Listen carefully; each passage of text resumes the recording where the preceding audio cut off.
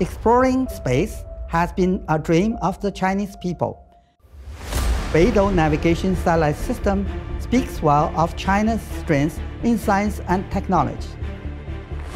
I'm Shen Jun, Chief Scientist of Beijing Unistrong Science and Technology Corporation Limited.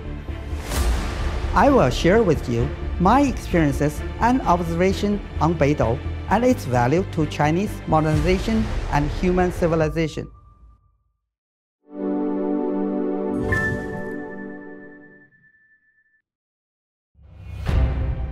Hello, welcome to China Talk.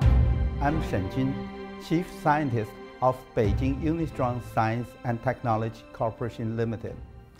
Beidou, out the Big Dipper, is a cluster of bright stars in the sky that ancient people used to find their way north. The compass was one of the four great inventions that our ancestors contributed to human civilization. Today, the Beidou Navigation Satellite System, or BDS, assigns a new meaning to the compass and navigation, bring the latest Chinese wisdom to the world. Over the past 20 years, I have had the privilege of participating in the development of BDS.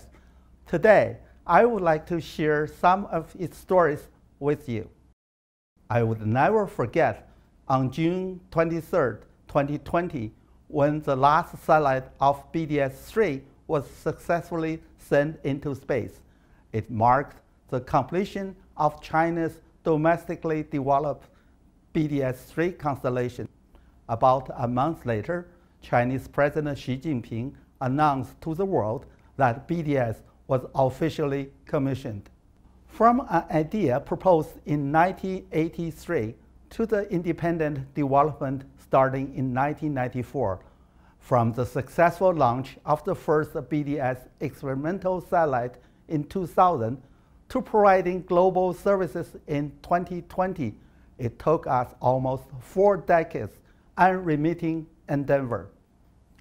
This is Dr. Chen Fangyun, a famous Chinese scientist.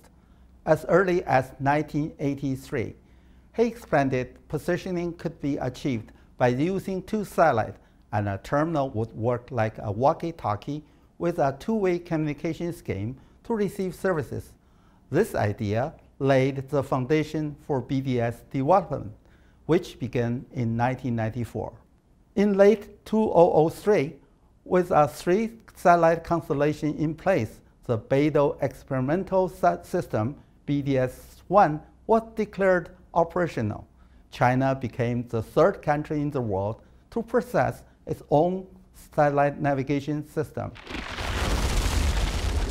When the devastating Wenchuan earthquake struck in 2008, the entire ground-based communication infrastructure was destroyed, while people were anxiously waiting for any information during the communication blackout time. The first report from the Quake Center was transmitted through the Beidou short message service. BDS-1 also provided real-time communication and position reporting to fishermen. Each year, Chinese fishermen spend more than half of their time over the sea. Before BDS came to the scene, they completely lost contact with their families and management when they sailed over the sea. As thousands of fishing vessels equipped with BDS terminals, fishermen could communicate with their families and management in real time. I personally participated in the construction of the Pakistan National Location Service Network, which can provide accurate positioning, navigation, and timing and short message services, I could see the joy of the local people when the system was put in service in the city of Karachi. On 31st July 2020, the BDS-3 Global Navigation Satellite System was officially commissioned. Internationally, BDS provides strong support to the Belt and Road Initiative, and its products and services have been taken in more than half of the countries and regions in the world. I personally witnessed that people in Tunisia cheered when a BDS-enabled auto-steering tractor was running in the field. As one of the four global navigation satellite systems recognized by the United Nations, BDS is a public good dedicated to the world.